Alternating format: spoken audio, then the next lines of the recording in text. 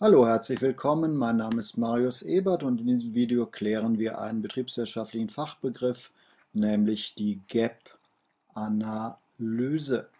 Was ist Gap? Gap ist nichts anderes als Lücke, das heißt, Gap-Analyse ist Lückenanalyse. Klingt bloß nicht so schlau, deswegen benutzen wir englische Ausdrücke, das klingt immer schlauer. Was ist eine Gap-Analyse? Hier ist die Zeit. Und hier ist zum Beispiel unser Umsatz. Und wir haben jetzt zum Beispiel einen Plan, der sagt, der Umsatz muss zu diesem Zeitpunkt hier sein. Das ist unser Plan. Und wir stellen fest, unser tatsächlicher Umsatz ist bis hier planmäßig gelaufen und jetzt liegt er aber hier.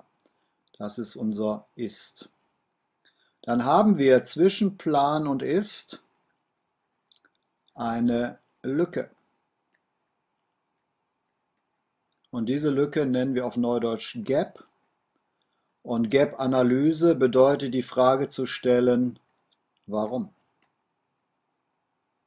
Warum? Wir analysieren. Analysieren heißt zerlegen. Wir zerlegen, um zu erkennen. Das heißt, Gap-Analyse ist die Frage, warum habe ich meine Planzahlen nicht erreicht? Warum bin ich unter Plan? Ja, Gap-Analyse macht man nicht, wenn man den Plan übererfüllt, sondern wenn man drunter liegt. Was sind die Gründe, warum habe ich meinen Plan nicht erreicht? Waren die Planzahlen unrealistisch? Sind die Maßnahmen nicht umgesetzt worden, die geplant waren? Sind sie nicht richtig umgesetzt worden? Sind Dinge anders gelaufen als geplant? Das sind alles Antworten auf die Frage, warum?